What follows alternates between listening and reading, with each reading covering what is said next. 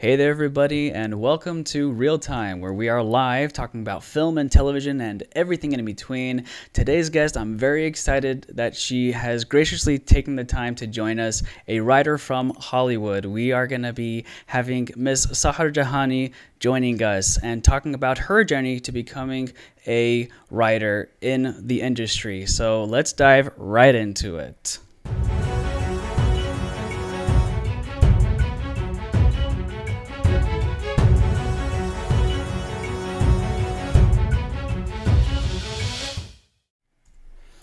Hey there, everybody. Mostafa Taleb here with Cinema King Productions, and thank y'all so, so much for tuning in on Reel Time.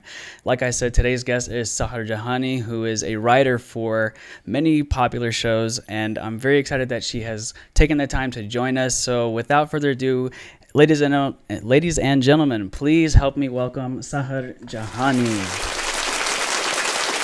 You are on. Wow, there's a whole clap track and everything. Yes, thanks, thanks yeah. for having me. I appreciate it. Thank you so so much. How you been? Good, good. You know, um, we're in California, so we're still on lockdown. Yes, um, everybody should be. yeah, I don't. Well, you're in Texas, right? And you guys are yeah. like going we, to the we, mall and stuff. yeah, we started opening up, even though I don't 100% agree with it. But uh, yeah, we're we're making the best of it. It looks uh, you know absolutely gorgeous in terms of your weather right now. I can tell there's the yes. sunshine coming through. Right now it's gloomy and cloudy on our end. yeah. but uh, yeah. So let's just dive right into it, shall we? Okay, uh, sure. Could you just quickly introduce yourself? Yeah, I mean, you did a great job uh, already, but I, will I'll do it again. Um, my name is Sahar Jahani, and I'm a writer in Hollywood. Uh, no, I write for film and television. Um, I wrote on a show called Ramy, season yes. one. Uh, I think all Muslims know about it. Um, and then I wrote on a few other things, uh, like 13 Reasons Why, the last season. Um, I'm currently on another Netflix show. Mm-hmm. Um, yeah, and I wrote a movie for Amy Pascal that has not been, you know, released or produced yet, but you know, hoping that it will be. And it's sort of like a Pride and Prejudice love story uh, with That's two amazing. Muslim characters. So, yeah, it's been quite a journey. Um, and before that, I worked at a bunch of other places. We can talk about it, but sure, yeah. sure. So I guess uh, my first real question is, what inspired you to becoming a uh, screenwriter? Um, I think I don't think I ever thought I was going to be a screenwriter. To be honest, I I mm-hmm. adore film and television. I think like a lot of young people, but I don't think you ever grow up thinking like this can be a job or a career, especially in our cultures. Sure. Um, and, you know, I think because we don't really have any examples of people who've done this before, or not that many at least, I don't think it was a, in the realm of possibility. But I definitely mm-hmm. knew I was going to be a writer. I wanted to do journalism. That, that was my major in college. Okay. Um, and that was the only like type of thing I could conceive of doing in in a creative field. Uh, yeah. I think journalists are just like a little bit more respectable. So, um, but but quickly, you know, going to college, I realized uh, journalism is very very quickly changing. This was like 2009, mm-hmm. 2010, um, yeah. and then film was sort of booming and digital content was booming and YouTube was booming. So um, I, I, just found myself naturally transitioning to film because that was the more creative way to tell stories. So absolutely. Um, and even when I was doing film, I was like, I don't even know if I'm going to be a screenwriter. Like I, I thought mm-hmm. I was going to produce because I'm pretty like logistics oriented and I was producing, mm-hmm. you know, at the time. And I was like, this is, this is fine. I'll just produce forever. Um, but I think slowly the thing that you really want to do will will come eat at you, and yeah. you you have to kind of take the take the the heed the warning and like just go with it. So. Um, mm-hmm. yeah, I, I think the inspiration was always inside of me. I always knew I was a storyteller. I just didn't think I could mm-hmm. make a career out of it. Well, I mean, you you have, and I think you're doing so very well for yourself. And you know, I think you are a great inspiration for young people who want to get into the field and not be terrified about you know what do my parents think, what are my friends gonna say, and things like that. So I think you are paving the way, and I think that's you know very uh, courageous and brave of you to to do that. Um, well, thank you. Hopefully, so far, knock on wood, nothing inshallah, happens. Yeah. Inshallah.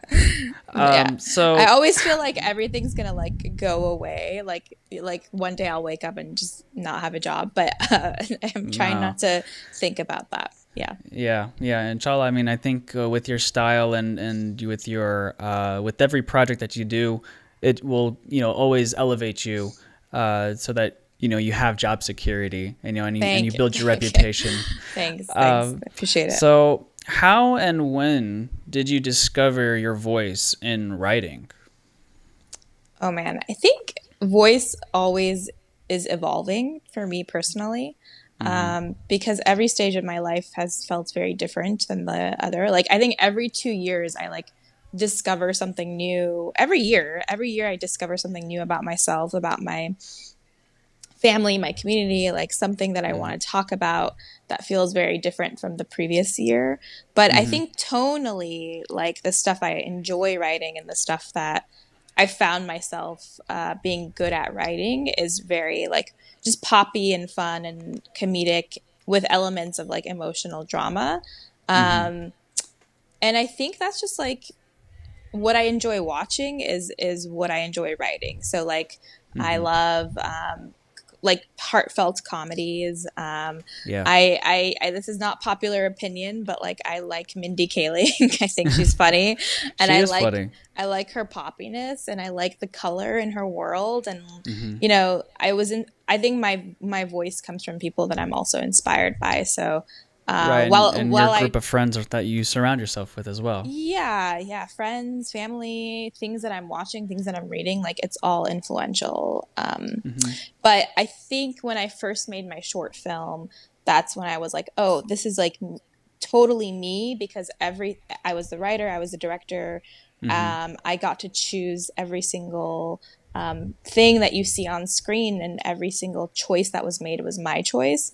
Mm-hmm. and then i was like oh I, I, don't, I don't even know if i like my voice. Uh, and and no but i i do i do obviously. And that really helps me hone in the other stuff that i, I want to write. So i i I definitely felt like that was a moment where I was like, oh, this is this is what like a film by me looks like yeah. Um, or a piece of content. So for sure. So like, uh, I mean, it kind of applies to any creative outlet. You want to create the content that you want to see or you want to experience, right? So be it you know a film, short film, uh, um, a writing, uh, a novel, or whatever. It's whatever your outlet is. You always want to create what you want to watch, and you hopefully you pray that others who are like-minded yeah. Would enjoy it too. And I yeah, think you know you very much uh, exemplified that that's the best way to put it. Even in, you know, even for TV, like when people are like, what should I write? I'm like, whatever you want to write. Like, you should mm-hmm. never think that I, I'm going to sell something. Like, that's never the goal. The goal right. should be like, this is a story I'm dying to tell and mm-hmm. I have to tell it or else I will literally, you know, die but, uh, and and I won't be able to live if I don't tell the story. So like that's the kind of approach I take. I never write anything that I'm not passionate about because then yeah. people can tell. Like people will for sure know they'll, did they'll not notice. care. Yeah, yeah, yeah, exactly. I mean, in in my line of work, you know, doing films and stuff, um, like especially like for a portion of my life I was doing freelancing and there were a lot of times I would do the projects just for the sake of, you know, making ends meet financially, but I did not give my 100% because I was not so involved. I didn't care as much for the project. And so I was very, you know, over time I was becoming more and more selective because I knew if I was involved with this, because I care about the project, you know, if it was a nonprofit looking for, you know, to do a commercial or something, then definitely, you know, I would be more uh, emotionally involved uh, in that capacity. So definitely, I, I, know what you're talking about, about putting uh, the, the, the, the, blood and sweat and tears and something that you care about into your creativity. Yeah, yeah, t- definitely. And and uh, doing projects to make ends meet is is never a bad thing. So I I I feel you on that. Yeah, point, yeah, for, for sure. sure. Yeah. Um, so what uh, challenges have you faced on your journey?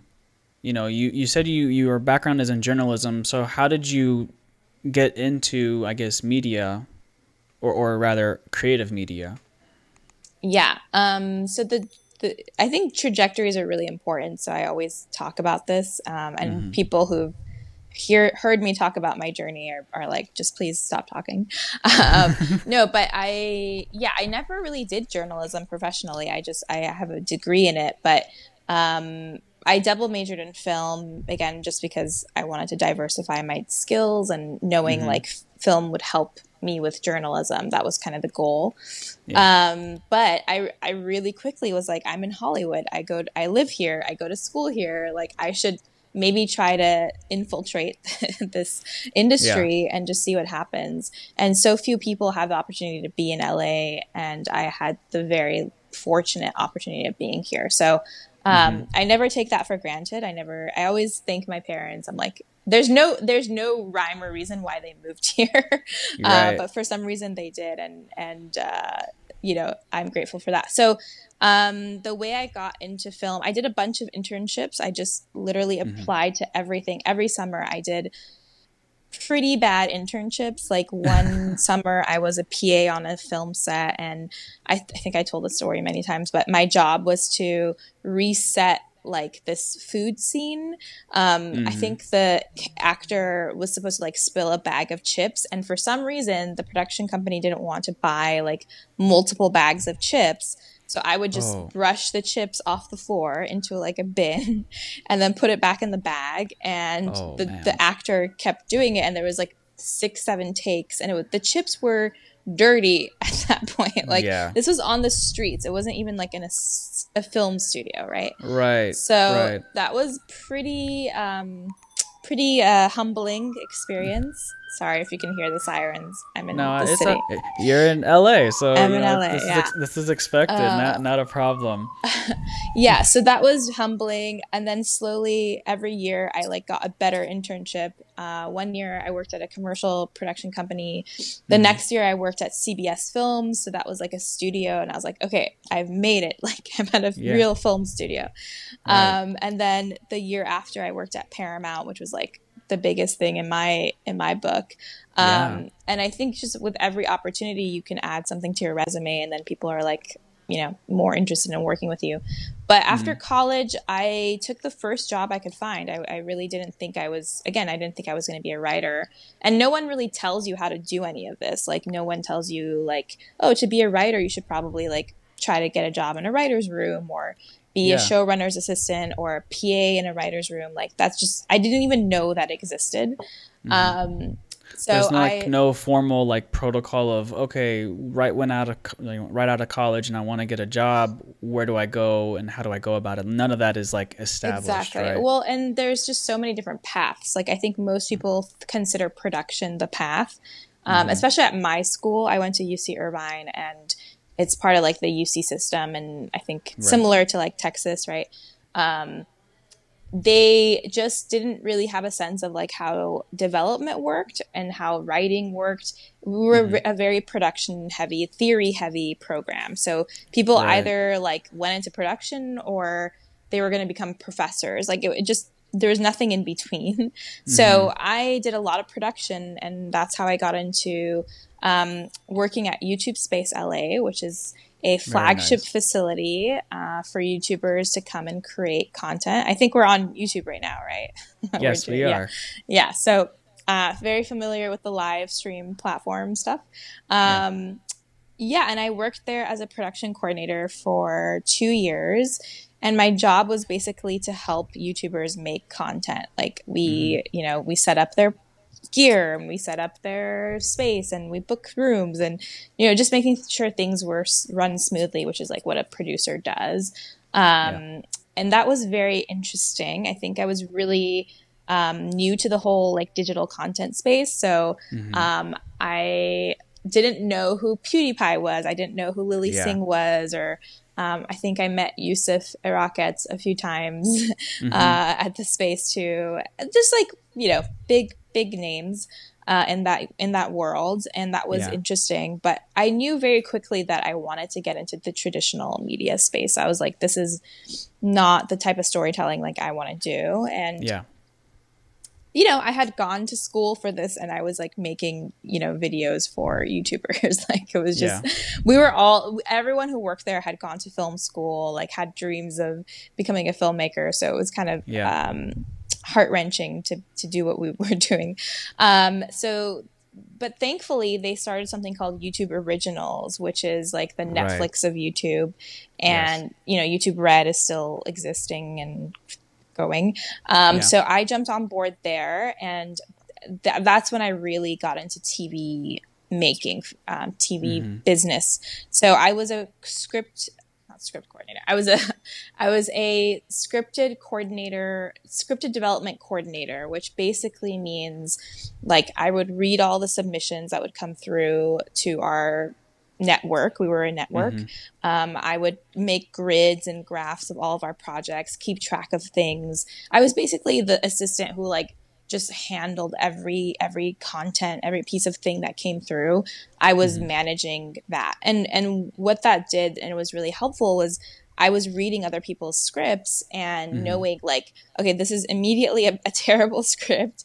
Yeah. Um, and that skill is like really important to learn. I think a lot of people don't want to do coverage because they're like, you know, that's like a assistant job or whatever. But I think being an assistant is like the most important thing you could probably do, um, because because Hollywood is sort of a hierarchy of a profession, right? Like it's like an Yeah. apprenticeship. Like it's not stuff you can learn in school, really. You have to do it and you have to find someone who's willing to teach you.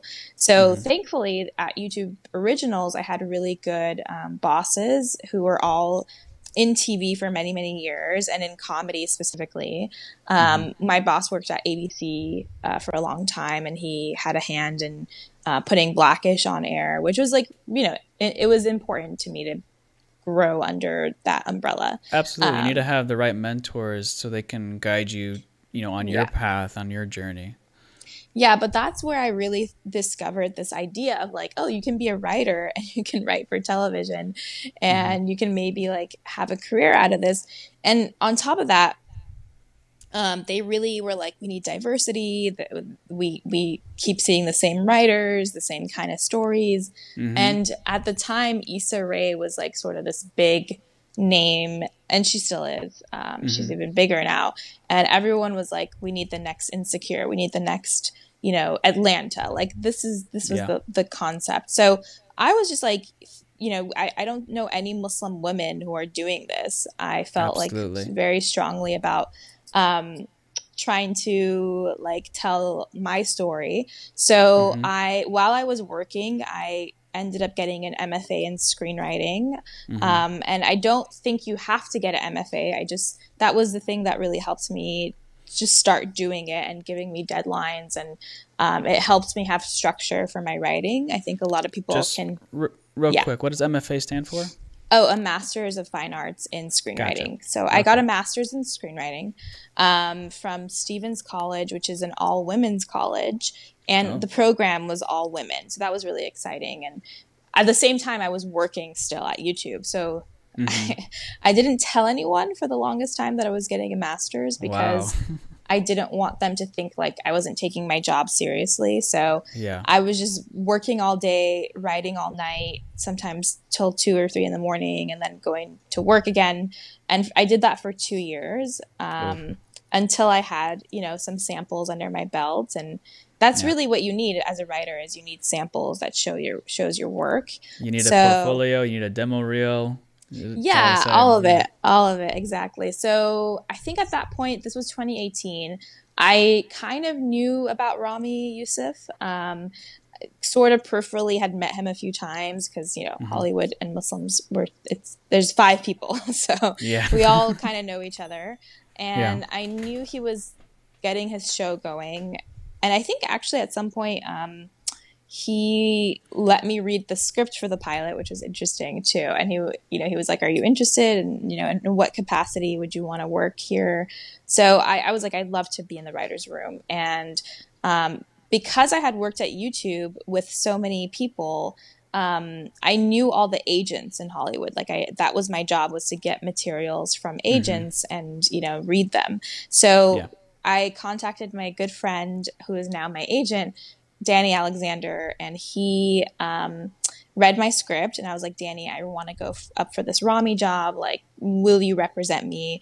I will, I will, I would, no, I'll never do this again. Like, I'll never ask you for a favor, but this yeah. is like the favor that I'm asking for because I feel like you really just have one favor in you from every yeah. person. Um, so he was, he was like, yeah, this is, this is good. Like, he really believed in my writing and he submitted me to, and, and, you know, for a show, you kind of have to go at it from all angles and, mm-hmm really try to um, get people's attention. It's because there's so many writers, everyone's trying to get the same jobs. So, Different ideas. They all want to have theirs heard. Yeah, so it's nice to have reps on your side who can kind of get you in the door. Um, and yeah, so he he got me an interview. I interviewed interviewed with Ramy and the showrunner at the time. Mm-hmm. Uh, and yeah, I, I got a job as a writer's assistant, which basically is a person who is in the writer's room and they take all the notes. Um, mm-hmm. So I didn't get a writing job, but I will say that, you know, it's really hard to get a staff writing job. You, that's like kind of impossible. So uh, right. I was like, I'll do anything. I don't care. I'll just be, I just want to be in the room. So yeah. I basically left YouTube on a Friday and started that job on a Monday, which was really jarring because everyone at YouTube was like, we didn't even know you wanted to be a writer. Um, yeah so that was interesting. But um, yeah, I I was in the writers' room for season one. I mm-hmm. got a script. Um, I got episode five, which was nice. Uh, nice. That's the Ramadan episode that everyone keeps. They keep sending me memes this month of like that episode, which is exciting. Um, yeah, and that was an interesting experience. I mean, we can we can talk more about that, but um, you know, I I did I did the work and and uh, went to New York to shoot with them. Uh, mm-hmm. And I, I, was also the I was the writer's assistant and the script coordinator, which is a whole other job. It's like mm-hmm. tracking all the revisions on the script and you know production right. drafts and um, helping the crew like understand like which script is what and you know where are we now and it's a yeah it's a technical task. It's very very seems um, very jarring. It is. It's and it's very scary because if you make one mistake on revisions, everyone's yep. confused. Like a crew of a hundred people is like, what are we doing? Um, right. So definitely, people were very generous with me, though. I have to say, like the producers were so nice. Everyone was like, you know, don't worry. Like I think I made a few mistakes, and people were like, don't worry. Like it's your 1st mm-hmm. time. Um, and you know, by the end of it, the AD and I, the assistant director, who you know, that's the person that's like making the schedule based off of your scripts. Um, they you want to be good friends with them. So I think at the end of the day, we were we were good friends. So all of that was really helpful. And then New York was a whole other beast. Uh, just living there and being there was interesting. Um, yeah yeah so then that show ended i came back to la i had a i had an agent at that time or i still do and you know you, you start the process of trying to get on another show and that's yeah. continuously the journey of being a writer is like trying to get the next thing mm-hmm. um, because our show our, our writers rooms are so limited they're like 10 weeks 14 weeks 20 weeks sometimes that's mm-hmm. it and then you have to find another job so it's it's sort of um it's a it's a real pressure cooker of like okay, what's the next thing? Um, so I got it. I got into a few. So in between all of this, I was also like applying for fellowships and grants, and mm-hmm. um, you know, just trying to make stuff on my own too, which is how you how you saw the film uh, just yeah. one night. That was through the Film Independent Project Involved program. Um, mm-hmm. So I was doing that while I was on the in the writers' room for Ramy. Um, and that was an amazing experience. That was um, sort of like a nine month program where they partner you with uh, a director, a writer, a producer, DP, um, and an editor, and you make a short film in a period of however many months. Um, but Beautiful. it was like film school. It was like it was exactly like what I imagined film school would be like. Um, mm-hmm. And I was supposed to just write, but what happened was my director was British and he mm-hmm. his visa expired, so he had to go back to the UK. Ooh. And they were just like, "Do you want to direct your own film?" Which was really exciting and scary at the same time. Of course. Uh, it was a lot of pressure, but I'm glad I did it, of course. Like, I, I, I want to direct in the future, and this was like a great first um, opportunity to do that. And I learned so much. I learned a lot. Absolutely. Um, and and for those who haven't watched it, I did link it down below in the description. So whenever uh, we're done with the show or have it open on a second tab, uh, have uh, take a look at it. And it's very well done. A very strong story, great direction. Uh, the imagery, everything was just so so amazing. So uh, if y'all haven't checked it out, definitely uh, watch it and leave a comment about it. and while I'm I guess getting a, a, minute in. If y'all have any questions for myself or for Sahar in terms of writing or filmmaking, make sure you leave them in the comments down below, and I'm going to be looking over and uh, trying to address them as we are doing this live stream. Continue on. Sure. I don't even know how many people are watching. I can't even see anything. Um, we have a good number. Okay, cool. Um, yeah, so I, I did that film. It, it, went up to a bunch of film festivals around the world. In fact, that's how I met you, right? I, I didn't meet you, actually. I met your wife right. at a film festival at, in Lone Star. So Lone Star is in San Antonio? No, where is it? Uh, it's in Dallas. Dallas. Yeah. What am I saying? It's in Dallas, Texas. Yeah. Uh, that's how much I know about Texas. Um, and that was the first time I went to Texas and, and I met a bunch of young Muslim women who had come to see the short, which was really, really nice. And I met your wife there. Right. So the, the story of how that so how that happened. I mean, I'm I'm so glad it happened because then that way we connected, and you know, I could have you and and you know talk about your journey. Uh, so she told me that a friend of hers invited her to go see the screening of you know these short films, and uh, then she met you there after watching mm-hmm. your film, um, and she enjoyed it, and then. Uh, she was very gracious, you know, to mention me and you know my profession, and then uh, we just you know exchanged emails, and then here we are. Yeah, so I was, yeah. it was just, it was just destiny, and I think that's that in itself is just you know awesome. Yeah, I think wives are wives are amazing, right? Uh, yes. also, also, yeah. while we're talking about my wife, I yes. have to say she is my creative consultant for this show. Um, so any any uh, improvements that you've seen has always gone through her, and then on top of that, today's episode, I could not for the life of me come up with a title. And I always thinking like, you know, maybe righting the wrongs or something like that. Like I was trying to be creative at that. But then yeah. I immediately approached her about this and then she said, do the right thing. But you know, the word mm-hmm. right. Right. And I was yes. like, that like, is, and it just blew me away. I was like, love the film puns. Yeah, absolutely. and so she's awesome. Yeah, she is an English lit, you know, uh, major, and so you know she yeah. has that creativity, that uh, spontaneity, and and that quick wit. So yeah. thank you, honey, for doing that. really appreciate yeah, she's it. awesome. I mean, yeah, we we all instantly bonded, and that was great. Um, yeah, I mean, just to kind of wrap up this story, uh, yeah. basically, yes, I came back from New York. I was I, I had applied to a bunch of programs, which you can do as like diversity programs uh, in LA. Like every studio has their own writing program. So I had mm-hmm. gotten the I had gotten into the Warner Brothers television writing program, and oh, wow. yeah, it's it's it's really like prestigious, and you know, I think over like 1,200 people apply every year, or more actually um, overall. Wow. But in comedy, there's 1,200 applicants, and I was one of two that they picked, which was it's really flattering, right? It's like really amazing. Mm-hmm. But um, I think so. So you have to be cautious with these programs. Like sometimes they're awesome and they can get you to the next thing that you want to do. But sometimes they can be very limiting, right?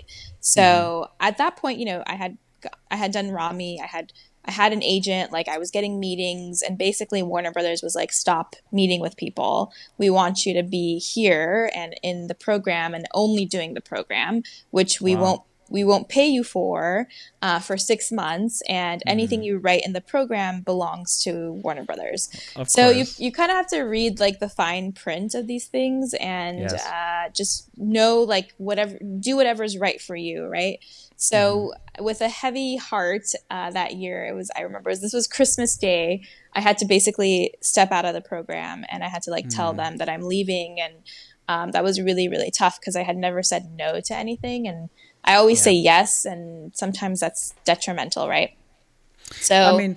it has to be a balance. Like you know, if you're given an opportunity, yeah. you know, don't just pass it up but at the same time like if it is going to be conflicting your future plans or or you know the the path that you want to take well of course you want to take that chance like you know maybe this opportunity is going to be you know pushing me way more forward than what I'm currently doing so it's kind of like you know uh, uh, you have to pick your battles kind of thing yeah yeah definitely and just know what's what what do what's right for you like just do whatever mm-hmm. you think is best so um, I left and then I got a job on a show for MTV called Undressed, uh, nice. which is a reboot. It was supposed to be a reboot of the early 2000s series, uh, and nobody watches this show, but mm-hmm. I, well, some people do. It was revolutionary at the time because it was it was talking about controversial stuff, and it was MTV, mm-hmm. right? So people would stay up late at night and, and watch the show. But it was supposed to be educational for young people about love, mm-hmm. sex, and romance, and all those things. So we were trying to reboot that, um, but it didn't go anywhere. Uh, so I left that show, and then and, and not because we weren't good writers, but because MTV's scripted development team like just dissolved and they don't do scripted content anymore. So yeah. then that's that's when I got onto 13 Reasons Why, um, season four, the last season, right. which is coming out June 5th. Uh, yes please watch it. Yes, uh, of course. I mean, everybody. Yeah. Like, I don't think y'all understand who I'm interviewing right now. She's worked on a oh. Emmy award-winning show, Ramy, Right? It was it was uh, there. Golden Globe. Golden, Golden Globe. Globe. Sorry, sorry, sorry. I wasn't yeah. sure, but yeah, Golden Globe winner show, Ramy. So you know, we have a high caliber person with us. And then on top of that, she's worked on 13 Reasons Why, which is a hit show to be honest, I haven't watched it, but it's okay. It's okay. I, I, I know it is highly popular, and you know I've seen some visual effects, you know, because that also interests me, and you know I see how how they do it, and it's just it's fascinating. So thank you again so much for for taking the time. I know you're such a high oh, caliber no, it's, person. It's honestly I'm not. I'm really not. If you knew like my level in Hollywood, I'm I'm nothing. Uh, no, it's it. Thank you. I appreciate that. It's very kind. But but yeah, I mean we it it, it 13 Reasons is an amazing, popular show, and it's so mm-hmm. different from everything else I had done before and um, to this day have done. So it felt like a huge, massive responsibility to, um, you know, like get the story right because so many mm-hmm. young people watch that show and they're affected by it. And, you know, there's a whole thing about the suicide that people, um, really just like honed in on that one thing about the show, which is so yeah. um, I think so detrimental because the sh- the season one is actually about a young girl who was sexually assaulted, and mm-hmm. everyone forgets that she was sexually assaulted. They just go straight to her um, suicide scene, and and you know it's become this big controversial thing. Uh, right. And actually, when I was in the writers' room last year, our showrunner had to decide, you know, whether he was going to take down that scene in season one wow. uh, of her actually killing herself, um, because mm-hmm. so many parents and not parents, just like media outlets had like written about it, and um, mm-hmm. there was so much hype about that scene. And to the writers, I think it was very important. Again, I wasn't in the room, but from what I understand of season one, is that they really wanted to show how scary suicide was and how mm-hmm. violent it is. And it's not this easy thing that you just take pills and like fall asleep. Like if you're gonna kill yourself like it's really really tough to watch. And we the and psychological they, uh, warfare that you have with yourself. Yeah. Yeah. And it's not like fun. It's not no. easy. So to just to i think in hollywood you know so often suicide is just like take a sleeping pill yeah downplayed and they don't want to go go there but i think what the show did that was really crazy was like they went there and mm-hmm. and people couldn't handle it so they for various reasons you know they ended up taking down the um that scene which i think is just mm-hmm. sad because it was such a beautifully shot scene too and um right. yeah anyways uh long story but i felt like I really had a big responsibility being in this writer's room to like pitch Absolutely. stuff that really affects young people and teenagers and like just going into the mental headspace of like what does it mean to be a young person in America right now that's dealing with like uh, we're dealing with shooters, active shooter drills. We're dealing with gun violence. They're dealing with SATs, all these different, like all pressures. these different pressures. Yeah, exactly. Yeah, yeah. Um, so we try to capture that, and it's also like their senior year, so the students, the, the characters, you know, they're going through all the stuff that like anyone else would go through, but mm-hmm. with an added layer of uh, mystery and murder um, yeah. and all those things. So so it was really exciting, and I got to go to set a few times, and it was just mm-hmm. like a mm-hmm. different caliber of a show. I mean, the the budget on that show is insane, and it's Netflix, so it was just fun right. to like work on something that people um, really really watch. Mm-hmm. Um, and to be a part of that. So I really appreciate, you know, having that opportunity. I'm sure it's very rewarding, you know, just not not just in the uh, I mean the financial part of it, but you know, just the credibility of it and and the experience of it is just so rewarding, and it's almost priceless. You know, to yeah. have that. Yeah, I mean, yeah, I think so. I think it's definitely priceless, but uh, also pays well. yeah. Um, yeah. So no, it, it, was it was really cool. I ended uh, the show ended in like December, January. So mm-hmm. I I've been developing since then, and and again got onto a new show with with actually the same showrunner as Thirteen Reasons. So he's doing mm-hmm. something new for Netflix. Um, which I can't really talk about, but it's it'll be exciting. But yeah, I mean, I I have my own stuff that I really want to do. I I've pitched a few shows around town uh, mm-hmm. in terms of getting like producers interested, and yeah, there's just like a lot of interest. There's a lot of interest in. Oh my god, I'm so sorry.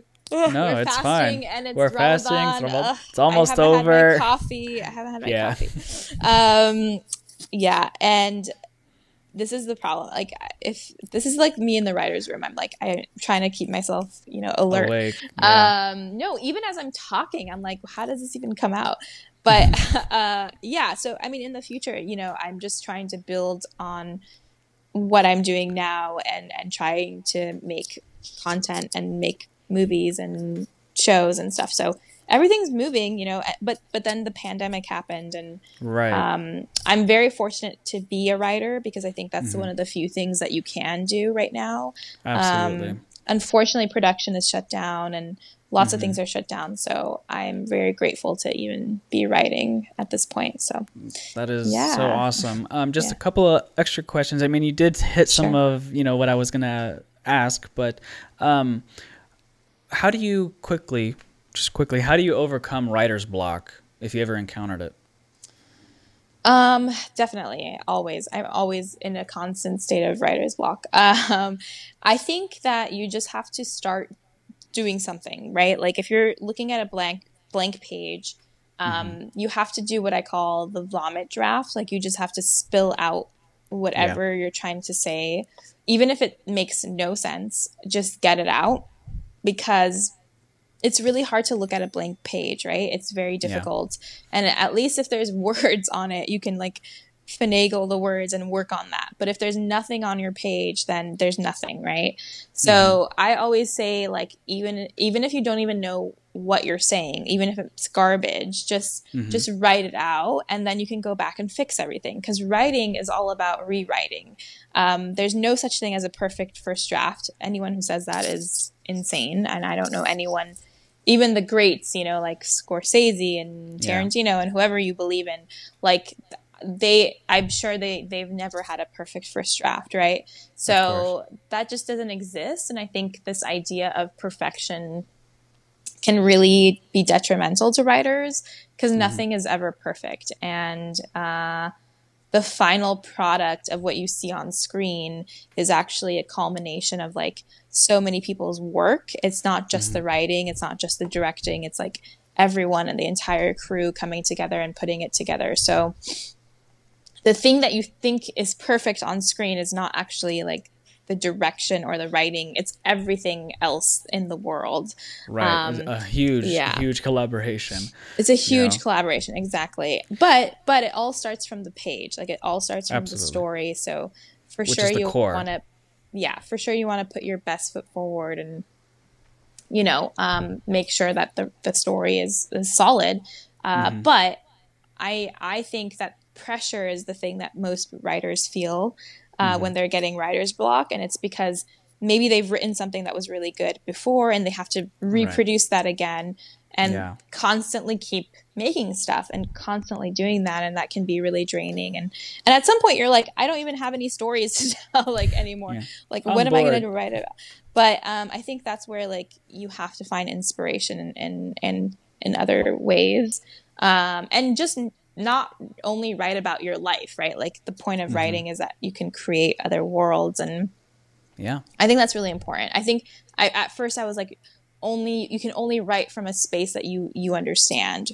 Like mm-hmm. only Muslims can write about Muslims, and I don't think that's true. I think it's better, but I don't think it's yeah. necessarily accurate. I think you have to be able to embody other characters and other worlds. So. so, so, we do have a question in regards to that a little bit mm-hmm. uh, from a fellow filmmaker friend of mine who actually I interviewed okay. earlier this week. Uh, his name is Fauzi Yahya, great uh, okay. uh, filmmaker. Um, and he asks, How do you decide what to work on as a Muslim, keeping in mind that we can't be involved with certain content that goes against the teachings of Islam? Yeah, yeah, that's an interesting question. Um, I mean, of course, I want to work on stuff that, like, morally and in terms of values, I believe mm-hmm. in. Um, but sometimes you're not going to get that. Like, sometimes right. you are in a writer's room where you didn't know the show was going to go a certain direction, right? Mm-hmm. And I don't know. I, I think it's very tough to be like, oh, as a Muslim, I can't do this. You know, I can't like, because because being a writer, you you've committed to being in a space that's open and tolerant and mm-hmm. respectful. And um, again, no one wants to work with someone who's like, I'm gonna walk out every time we talk about something that's like um, you know, like I don't know what that means. Yeah. Um, so I, I, I don't uh, approach writing as as a Muslim, to be honest. Like I approach mm. writing from a character perspective um, because yeah. because the characters are not necessarily me, and mm-hmm. um, I'm not trying to write stuff that is uh, Islamically like appropriate. I mean, mm-hmm. we can debate about what Ramy is, right? And and the stuff right. that the character does and is that Islamic? Is it not? I mean, of course, he's he's committing like fiqh according to our fiqh sins, mm. right? Mm. But the point is that um, characters are human and they come they're they're fallible and yeah. they make mistakes and to to write stuff that's like um, only going to be that. yeah demonstrating that is important i think people learn from characters on tv they also mm-hmm. don't learn and it's just entertaining sometimes like i think you know is is game of thrones like is that teaching us anything about like no. morality i mean sometimes like it teaches us about power and what power can do so i think yeah. i think every show has a theme and the themes are usually um, along the lines of like humanity, right? But they're not. Mm-hmm. Sometimes they're not Islamic themes, but that's that's the world we live in, and I really I really don't approach stuff in that way. Um, and that might be hard for people to understand, but mm-hmm. um, I think like I think it's going to be a very very hard world in a difficult space if if you if you approach stuff from like a Muslim writer perspective. But mm-hmm. of course, I'm not going to take on a project that I feel is absolutely detrimental to like people. Um, of course.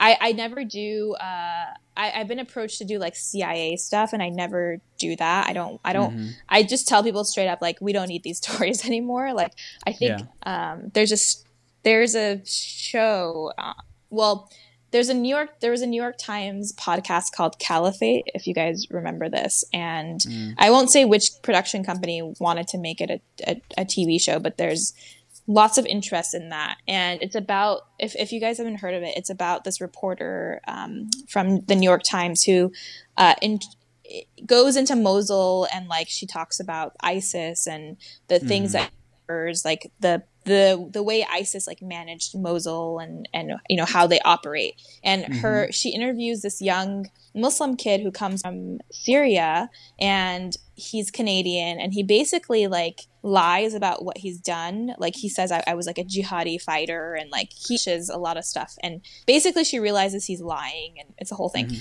So they th- they thought like wow what an amazing story.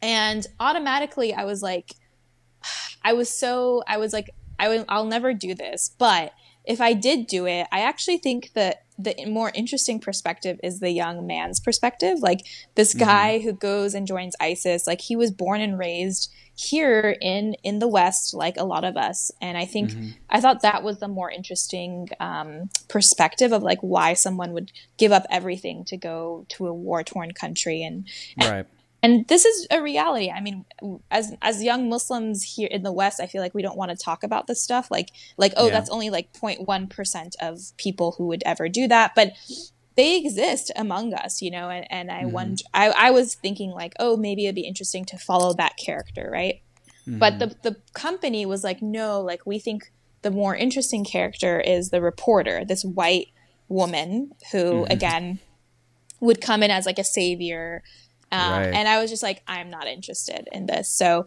that was really empowering to be like, I don't think this is important. I think this is actually a white savior story. Like I told them everything I felt, and they were like, mm-hmm. okay, like thanks for letting us know basically right. and and then at the end of the day i was like anything i even if i took on this show this project anything i do it's it's going to come down to being a story about terrorism, right? And I just right. don't feel like we need that anymore. We've done a bunch it's of shows. Over. We've yeah, Homeland exists. You got y'all can go watch that. Um, mm. And unless we have a new perspective on like this thing about you know you know I guess extremism, um, mm I'm not interested in doing anything related to that. So I think that that is a fine line that I, I will draw because because I think um, so many of these shows like 24, Homeland, and Tyrant, and all this yeah. stuff was so problematic.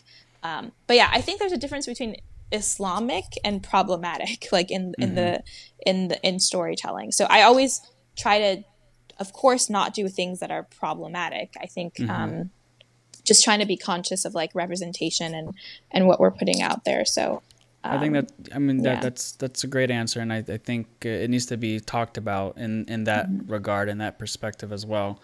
Um, yeah. So two last questions, inshallah. Okay. I know this is supposed to be a little bit shorter, but I know you have. Uh, oh, that's okay. something else coming up. Um, yeah. So, why do you think and I kind of know the answer, but I just want to hear it from you. Why do you think studios are now accepting stories that are non traditional, uh, meaning putting the spotlight on quote unquote minority groups, such as like the Muslim community and others? Yeah, I mean, I think studios are interested in just anything that's different um, and that they haven't seen before. So it's not necessarily like Muslim stories. I think they're interested in everything.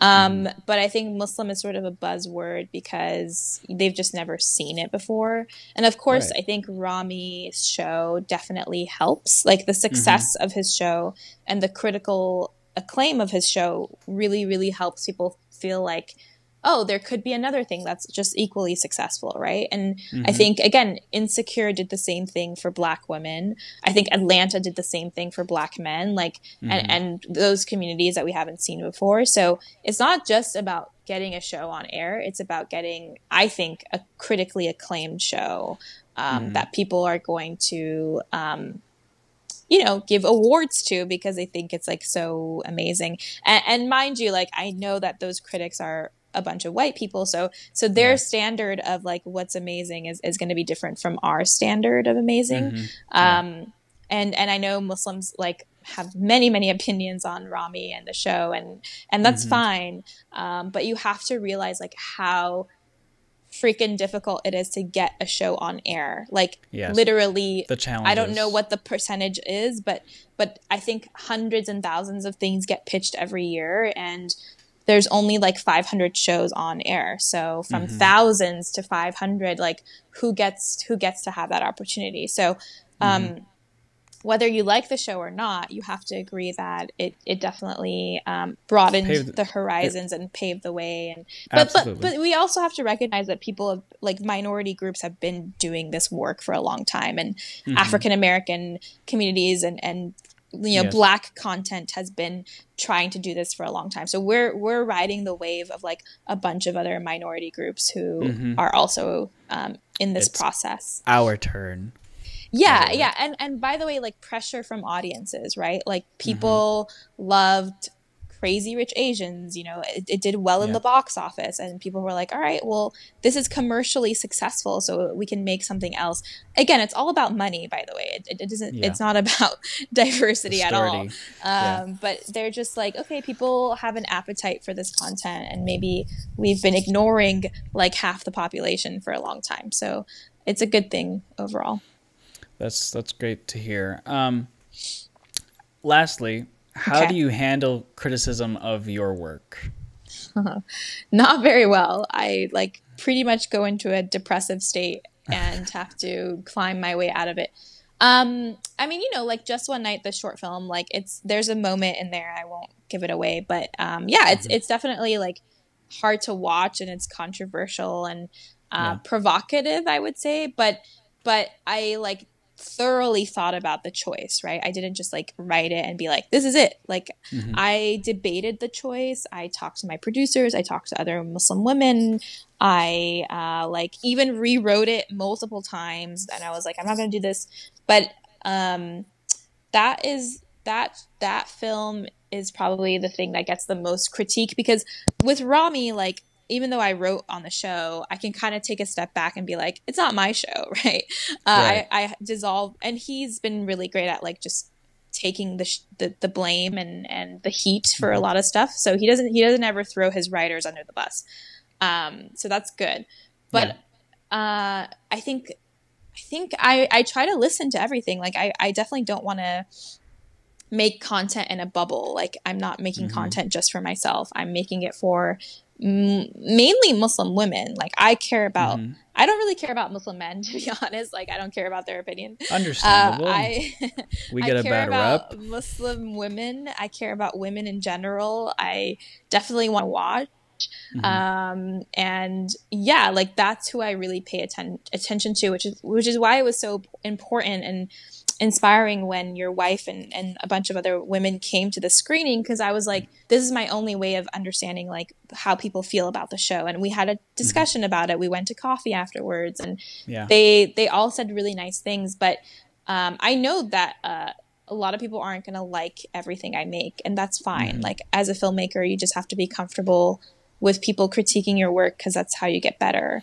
Um, Absolutely and i'm sure like 13 oh my god 13 reasons has so many reddit pages and like oh, people sure. like you know commenting on the show and teens commenting so i know like my episode this season will probably be a really really um crazy crazy one crazy yeah. uh so yeah i mean we get we get the heat but you just kind of like uh, take take what you need to take from that and and move on. I wouldn't try to listen to everyone. That's the problem. Is like people mm-hmm. try to listen to every single critique, and I think you have to trust the people you're taking critique from. So um, mm-hmm. whoever you trust, I think is is the most um, beneficial person to take critique from. Absolutely. Yeah. This has been amazing. Thank you, Sahar, so yeah, so no much problem from taking the time out of your busy day uh, to, to be on the show. And uh, we will catch up in just a moment. Thank you so, so much. Okay. Thank you for having me. Appreciate it. Thanks. All right, guys. So I hope y'all enjoyed this episode of Reel Time. If y'all did, give it a thumbs up and don't forget to subscribe. Make sure you hit that post notification down below so you are notified when we go live again here on Reel Time, where we talk about film, television, and everything in between. And if y'all would like to sponsor an episode, I don't know who would uh, be listening to this, but if y'all would like to, please hit me up and we can make something happen. We would greatly, greatly appreciate it. This is Mostafa Taleb, and I will see y'all in the next one. Assalamu alaikum. Peace out.